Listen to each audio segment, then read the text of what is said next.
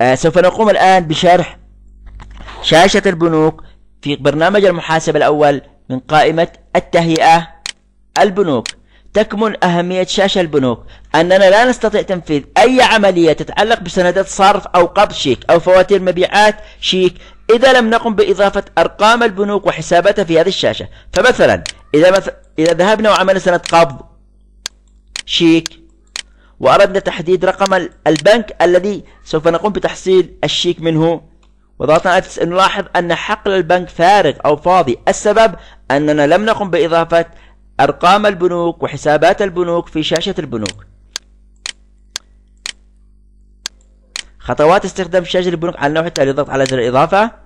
رقم البنك واحد. ثم إيش؟ عند رقم الحساب F9 ونقوم باختيار رقم البنك. مثلا بنك التضامن الإسلامي ريال رقم التسلسل يقصد برقم التسلسل أنه هل جميع سندات الصرف أو القبض التي سيتم صرفها من جميع البنوك سواء بنك التضامن الإسلامي ريال أو دولار متتابعة متسلسلة متتالية أو أن لكل بنك تسلسل خاص به. فإذا كان رقم التسلسل لجميع البنوك واحد معناته أن جميع تسلسل سندات الصرف والقبض سوف تكون متتابعة. فإذا ما صرفنا مثلا من بنك التضامن ريال رقم السند واحد.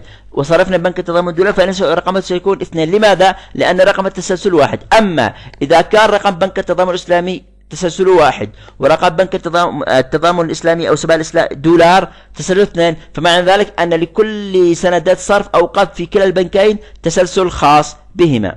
سوف نجعل رقم التسلسل مثلا واحد ثم نقوم بعمل الحفظ. نقوم بإضافة البنك الآخر رقم اثنين F9 واختيار بنك سبا مثلا إسلامي دولار. رقم تسجيل مثلا منفصل اثنين ثم نقوم بعملية الحفظ. لاستعراض جميع البنوك التي تم إدخالها يتم الضغط على زر العدسة البحث. الآن لو ذهبنا ونفذنا مثلا عملية عن طريق البنك وضغطنا على اتساع نلاحظ إيش؟ أو عن طريق البنك نلاحظ ماذا؟ أن جميع البنوك الظاهرة في هذا الحق تم اضافتها في شاشة البنوك. شكرا.